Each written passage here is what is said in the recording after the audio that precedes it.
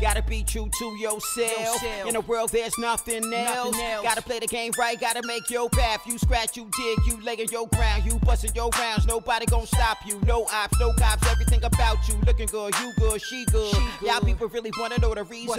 It's that ripple effect. That's just that ripple, ripple. That's just that ripple effect. What you do, come back, come triple. back, triple. Hey, what's going on? It's your girl KDot back in the Ripple Effect. You already know what it is, and you already know the vibes. I got a special one for you today. This is one I've been waiting to do for quite some time, actually. Um, is talk about someone who's been on TV for a minute, famous, famous for a lot of different reasons, right? A lot of people have mixed emotions about this guy, right? And a lot of times it's not what he's just saying about sports. It can be about the weed, right? Or it can be about different topics that can sometimes get him into trouble, right? With the Ray Rice situation. Or it can be times where he's talking about Kyrie and people think that it's just personal, right?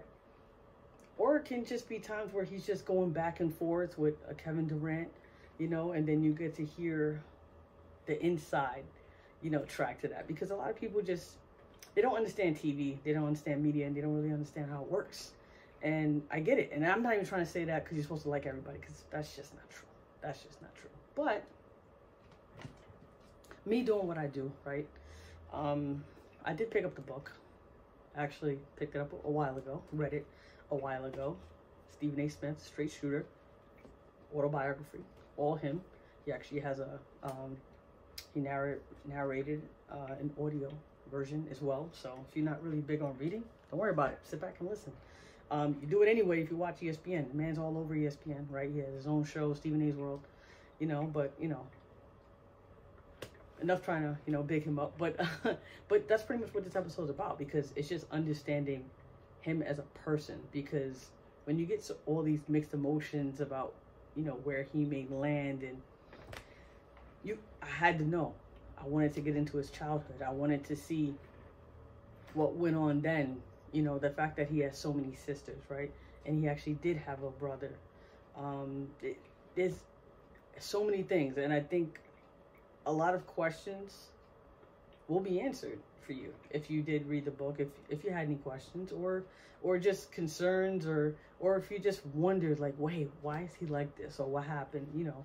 Um, but you're talking to a guy, you know, who is quite successful, you know I know it's very easy to point the finger and try to say, you know, what someone could have done better, or he could have said it this way, or why did he have that take? One thing you gotta you gotta respect about the guy, for the most part, he's pretty honest. He's pretty blunt, you know, and he's not necessarily gonna change his opinion just because you would disagree with him. He may open his mind enough, you know, to at least say, okay, when he's wrong, he's wrong, right? But at the end of the day, it's a debate show what he does on First Take you're going to agree or disagree. And it is TV, folks. I know a lot of people don't understand TV and how it works. It, it's a persona most of the time of what these guys have. You know, it's no different than watching an actor act. You're not really, you know, if Leonardo DiCaprio, you know, is murdering somebody, you're not going to walk around calling him a murderer, right? I mean, it's in good sense. I mean, some people probably take it too far with the characters, but that's that's pretty much what it is. He's it's it's a caricature of himself, right? Um, he's tapping into to all these different you know uh characters inside himself and if you were to tap into yourself you'll find all these different characters. And if you don't believe me you know ask the people around you. You know everybody can be animated in such a way you know where they can just kind of let it out. And it works for him and he makes a lot of money doing it. And he started off as a columnist you know um, he is a re- very respected journalist in terms of what he used to do especially with the philadelphia inquirer you know, different athletes that he used to cover. One of the biggest, you know, Allen Iverson. Listen, guys, it's it's just it's just interesting. But just to give you an aside, um, the whole thing with Kevin Durant, and I think a lot of it was misunderstood. Um, remember, this is like I said, if you understand TV, you understand ratings. You know, you got to take the good with the bad. And at the end of the day, there's really no such thing as, you know, bad unless it's just well, I'm not going to say that because there is cancel culture, but you understand where I'm saying it. if he's still on, he still has a chance to clear it up and people are going to want to tune in. That's the whole idea, right, folks? So, you know, not saying that KD didn't say what he really meant when they were kind of having their back and forth and trying to discredit Stephen A. and Stephen A. went back, you know, and calling, you know, the weakest move. If you if you don't really know the whole situation I'm talking about, let, let me just tell you. So, when Kevin Durant decided to leave the Oklahoma City Thunder and go over to the Golden State Warriors, especially just losing to them right after they were up 3 1, right? And that was after a phone call, Draymond Green in the parking lot after losing the finals to Cleveland. Hey, KD, you should come play with us, you know. And KD decided to go over there and play with them. Okay, cool. Um, they had that back and forth exchange ratings were pretty high. If if you're a TV person, that's pretty much what you're looking at. If you're if you're a fan of one or the other, you're kind of just playing this back and forth thing, you know, and you get kind of getting caught up in it, and that's kind of the point. So, I say all that to say this. So, when Stephen A. Stephen A's um, mother passed, you know, R.I.P. to her, um, a few years back, um, and he when he showed up to work, and he had to, you know, do one of the uh, ESPN, one of the NBA on ESPN at night, like he normally does. He said he wasn't ready for that. He wasn't. He probably came back to work too soon, but I guess he just he's one of those workaholics, and you can kind of tell he's he's definitely he puts everything into his work. His his job is I'm not gonna say his life because I'm sure he has other interests and other things that he does outside of his life, but it takes up a lot of his life. I could say that for the most part. But when he was at the game, he actually ran into Kevin Durant's mother. Yeah. The mother of the guy that, you know, that he called the weakest superstar, like the weakest move done by a superstar, right? And she knew um, what Stephen A. Smith was going through. She she had knowledge of his mother passing and she didn't say anything to him initially. She saw his face. She gave him a hug. Um, and just just to know that that not only gives you an idea of who Kevin Durant's mother is, but also more of an idea of who Stephen A. Smith is, right? And and knowing the importance of what he does you know, and how it has an impact on her son's life. So you have to put all that into context. Even though that there was a little joke, and she did say like, "Oh, but if you say something about my son again, you know, we're gonna have to," you know, and he did smile or whatever. But you know, but it was like those things that he mentions in the book that you'll never probably hear on First Take or on ESPN for that matter. And more to that point um, about his book, when he goes into his childhood and he talks about the relationship or lack thereof of his father and all the different you know trials and tribulations that that's really all i can call it at this point because i don't want to give too many things out you know because why would you read it right if i'm telling you everything? But it'll definitely give you an idea of why he is the man that he is and why he takes it to heart when people try to you know um you know like you know when they say he's a sexist or when he says you know uh, certain things that definitely get blown out of proportion um, knowing how many sisters that he has knowing that he values his sister's opinion so much and knowing how his father was towards his sisters in comparison to him or just the relationship that um, that his father had with his mother or lack thereof you know um, it was it was crazy. It was really really crazy. It wasn't of a typical family structure that you that you would think that you would want to imagine you know um, especially knowing that he went to college you know um, winston-salem you know historically black college. Um, it's like what happened you know what sort of guidance did he have you know um, outside of his mother of course because his mother was always there for him i mean he emphasized that in the book. The book was dedicated, you know, to her. The book was actually um, took this long, or the because he made a promise to her that he would not put out this book until she would she until she passed away. And he kept that promise. And I can see why. You know, um, because she knew Stephen A. Smith wasn't gonna hold any punches. He's just not known for that. I don't think he's built for that. He's just he's just straight from the hip, you know, no pun intended. You know, he if you watch him on first take, you already know. He holds no punches. Like he's going to tell it how it is. It I'm not necessarily considering your feelings on it because this is my truth, this was my life, and this is what I, I had to endure. You know what I mean? And and that's hard because you do care about the people around you and you don't want to offend anybody and you, you certainly don't want to feel bad or take any credit away from anyone else you know from their story and what they had to endure and maybe that wasn't you know conducive to you and your lifestyle but so sometimes circumstances are just so unfortunate and and I think that's what he wanted to do. He wanted to let you know like listen, this is what I had to endure this is what I had to deal with, and yet here I am. You know, like what he saw at an early age, not only what he saw, what he had to still pick himself up and and work, right? Put himself through school. Tried to make it as an athlete. He knew he would never be the athlete that would make it to that elite level but he loved the game. He loved to talk about the game. I mean, shoot. He learned basketball from one of the best, like ever. So, say what you want when he talks NFL, but when he talks the NBA, I'm not talking about when he's just going crazy on, you know, one guy or another.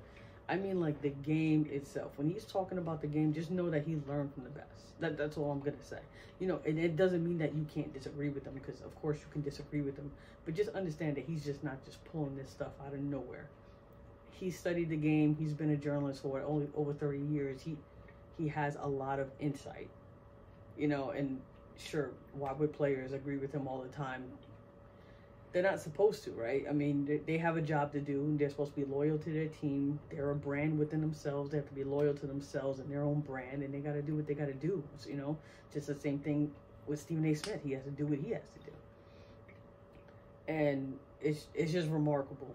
I can just tell you that part. It's remarkable because some of the stuff that he said that his father did, you know, to his mom, or or just non-existent even when they're non-existent it was you just feel for him you feel for him because you're not just looking at stephen a the man. You're kind of looking at stephen a when he you know when he when he was a child you know and this is his foundation you know. So when you come up from such trauma and different things that you have to experience at such a young age that's it's not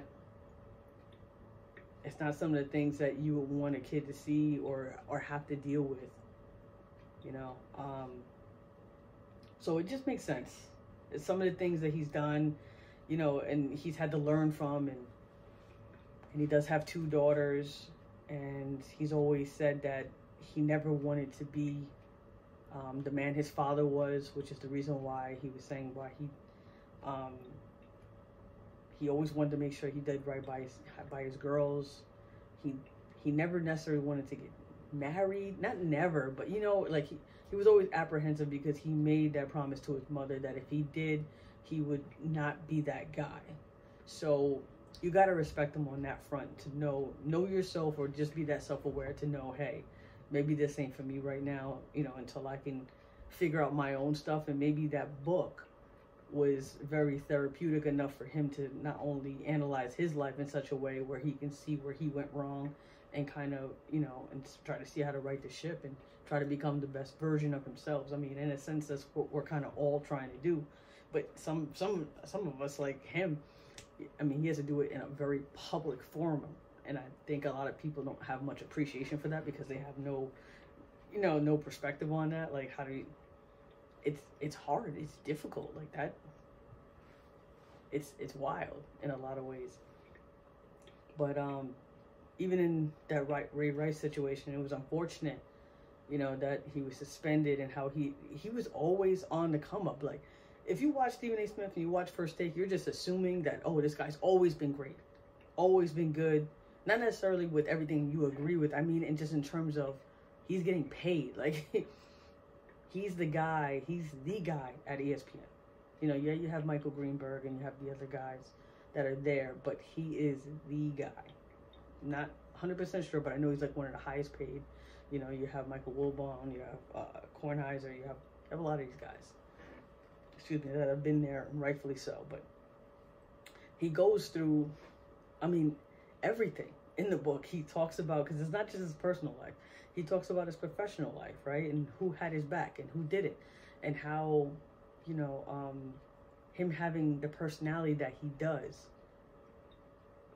And unfortunately he is he is black right? So he gets a lot of criticism for a lot of the things that he does because he's very boisterous right? He's very outspoken so he's always considered to be too outspoken too loud right that's always the the thing that he gets but there's this i mean if you watch if you watch or listen to sports radio there's a lot of guys that are loud and very demonstrative like that's that's how you get ratings up. And if you've ever been to any barbershop, you know that sometimes that happens too. Conversations concerning sports get real loud and crazy. You know, I mean, it's all fun and games, but I'm just saying, like, but these are some of the things that people knock him for. You know, and I'll also talk about um, with the Kyrie situation. He actually admitted on a podcast he doesn't go to into this in the book, just so you know. But um, but just give him more context because um, you don't just read the book. You gotta do your other research, do your due diligence. You know, because when he was going on his book tour, he talked about a lot of different things because people ask him a lot of different questions, and there's not too many things that he doesn't talk about. When it becomes to his personal life, I think the book is probably the most you're gonna get because he doesn't really like to, you know, go into that, which is cool because I don't really want to go into that personally, but when it comes to like the Kyrie situation, he did admit that him and uh and Kyrie do have, you know, um a bad relationship in terms of something happened. He will never tell it. He said he's not you're not going to hear it from me. Um, but he did admit it, so he did let you know that there is bad blood, you know, and it wasn't just with Kyrie, it was with Kyrie's father as well. And I don't know. I honestly, that's I rather not do too much research on that, mainly because you're gonna get a situation like the Andrew Wiggins situation, you know, and obviously, and shout out to Andrew Wiggins and his family and and his father, and I wish him nothing but well wishes, but it's just unfortunate. I only bring that up because it's like it's unfortunate, but you see how people can come to all these crazy conclusions. Like that's why I don't I don't I don't dig too too far. I feel like if it's gonna pop up, you're probably gonna hear it from the people concerning that situation. And that's and when it comes to stuff like that, I rather hear it from that and not hear it from any outside source because that just sounds like clickbait. Anybody will do anything for clicks or likes nowadays, so I kind of just I just stay in my lane. I stay away from that. It's not even worth it. Trust me. Um, but some people it is, uh, and you know you do what you do. But to me, no, stay away from that. But but yeah, but I thought that was very big of him because um, a lot of people say that they feel like it is personal.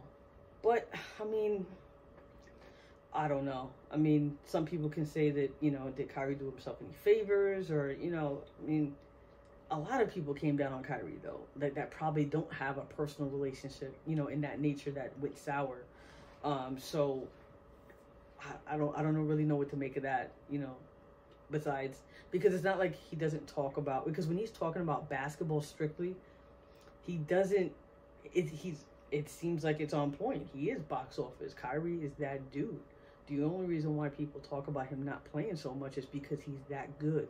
Because trust me, if you were not good, we wouldn't care if you didn't play. We would say thank you. you know, don't waste my time. But we care about you playing because I I hate to say it, but it's almost like at the end of his career or when his career does end, it's going to be left with a lot of question marks. And I don't hope for that because as any basketball fan, you want to see these guys live up to their greatest potential. You want them to leave it all out there on the court and to say that, yo, this guy this guy put it all out there. And this is what he stands for and this is what it's about and this is gonna be his legacy. You know, I mean obviously his legacy is gonna be far more than just basketball, but but this is what you've been doing at the highest of highest of levels and nobody can do what you do, Kyrie. So you know what I mean? So I think that's what that's why. And in a sense, you kind of should just take it as a compliment and kind of just weed out all the other comments. Um, and I feel like that's what and, you know. Stephen A. does go hard. I'm not gonna lie, but then I feel like that's when that persona comes out, that caricature of himself that comes out, and the ratings were super high, guys. Excuse me. I'm not even trying to say whether it's right or wrong. I mean, it depends on what business you're in. You know, if you're more into ethics and you know morality and stuff like that. Well, I don't really know if you call it that, but you, you get what I'm saying. Like, I mean, then you can you can judge it based off that. But if we're just sitting here talking about you know him not playing games and I've seen him go hard on you know guys even in NFL NFL with with Josh Gordon you know with the weed right I mean he does go you know I know I understand why some some players he seems to think he goes harder on others and I just think he goes hard on the guys that you guys like to listen to. You know what I mean? Because you guys obviously listen to it. You guys listen to it and then you complain about it. So essentially you're you know you're reaffirming his behavior you know so who's the culprit right? But i do suggest you guys read it especially if you're a sports fan and and you watch him. Why wouldn't you want to get to know someone that you're watching you know in order to get more context and be able to understand where he's kind of coming from with this whole thing and and how um, when he's talking about Carmen on TV and you're like, oh, who's Carmen? You know, and you know that if you know by now, you should know that's his sister loves to cook, and those and that's his sister that really really, you know, um, gets on them, you know. Uh, so you have to understand how they're all older, and you have to, like I said, it's just, it's just something for you to know. It's just something for you to know if you want to get to know the the man behind the mic. Um, but also, it's um, it's funny because he's actually put a lot of people on too when it comes to his show on first take when you think about JJ Redick, and I like JJ's brilliant basketball mind. I see him on a coaching staff sooner than later. I've been saying that. I think I'm just trying to speak it into, you know, fruition because he's off the charts, man. He he knows what he's talking about. He has the respect of other guys in the league, which is why he's sitting down with different guys nowadays. You know, Ryan Clark, and you see what he's doing with the pivot and the guys, you know, with uh, Fred Taylor and Channing Crowder um, with Kendrick Perkins, Swagoo, Mina Kimes, Dan Orlovsky with the way he keeps going on about his wife sitting in the back and how she needs first class tickets and you know it's just all fun and games like it's great and Monica McNutt you know uh, Kimberly uh, Martin all these guys like they're all a product of first take. Like, don't get me wrong. Like, I know they've come from different places, and if you do more research, they um, they have their own journey and their own story, and I'm I'm sure. But I mean, first take is def is such a major platform that if he puts you on there, peop other people are going to take notice, and then when they have, and then you see them branch out and get their own podcast, people like me, they're gonna listen, they're gonna subscribe, right, and they're gonna get to know them. So I'm just saying, like Stephen A. gets this personality. He gets this rep of being like a selfish guy. It's all about him, all about me. I'm like, I don't know, man. He he he's putting together a winning show. A lot of people said he wouldn't be doing good after Max and the whole thing, and he also mentions that in the book as well. So, um, and on also um, Molly um, Qerim, he's put together like an all-star cast when it comes to talking about the NBA and the NFL. You know, I mean,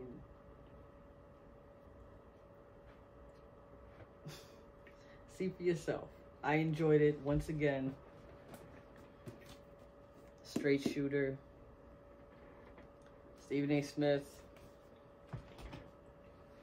I respect you. I salute you. You've done a lot. Keep up the good work. And to my fans, I only ask God to remember one thing losses equals life lessons. Peace, guys. Gotta be true to yourself. yourself. In a world, there's nothing else. nothing else. Gotta play the game right, gotta make your path. You scratch, you dig, you laying your ground. You busting your rounds, nobody gon' stop you. No ops, no cops, everything about you. Looking good, you good, she good. Good. Y'all people really wanna know the reason. That? It's that ripple effect. That's just that ripple, ripple. That's just that ripple effect. What you do, come back, come triple. Back, triple.